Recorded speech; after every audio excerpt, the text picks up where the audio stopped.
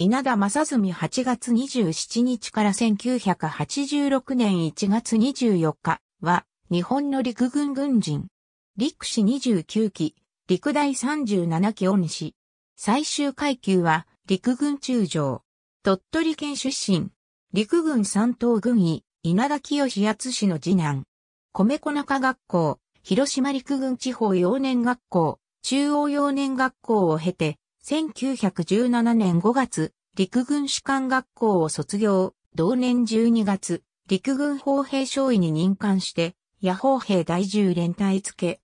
1920年11月に陸軍砲工学校高等科を卒業し、さらに1925年11月、陸軍大学校を優等で卒業して、恩師の軍刀を排除。参謀本部付勤務、参謀本部部員、フランス駐在、野戦銃砲兵、第二連隊大隊長、陸大教官、参謀本部部員、陸軍省軍務局軍事課高級会員などを経て、昭和13年7月に陸軍砲兵大佐に進級。参謀本部第二課長3月1日から1939年10月12日、野門藩事件当時、参謀本部付、陸軍習志野学校付、阿城十歩兵連隊長、第五軍参謀副長を歴任し、1941年10月、陸軍少将に進級。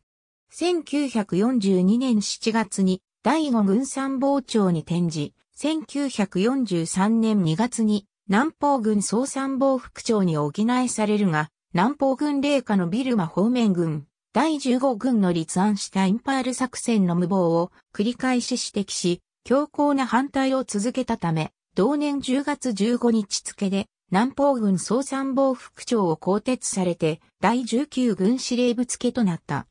1943年10月に第2野戦根拠地帯司令官、1944年4月に第6飛行士団長を心得、同年8月15日に定職、同年10月に第3船舶輸送司令官、1945年4月に陸軍中将に進級すると同時に陸軍兵器本省付け、同年5月に第16方面軍参謀長に補いされ、九州で本土決戦に備えていたが終戦を迎え、同年11月に復員した。